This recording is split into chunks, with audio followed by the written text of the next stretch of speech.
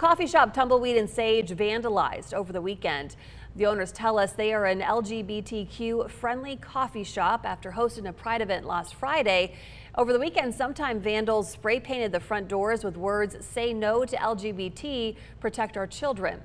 Owner Destiny Adams discovered it this morning and says while this is very upsetting, she and her store are still celebrating Pride Month and sticking to their values to have so much hate in your heart to think that a community is causing children harm um, and then to follow it with a harmful act I think is just so much. It was like so overwhelming to even think that someone could do that in our community um, especially during Pride Month I mean we're pretty open about what we do we've had Pride events here all year round we don't just celebrate in June um, and so it was crazy to wake up to that um, and kind of a shock to see that it hit so close to home.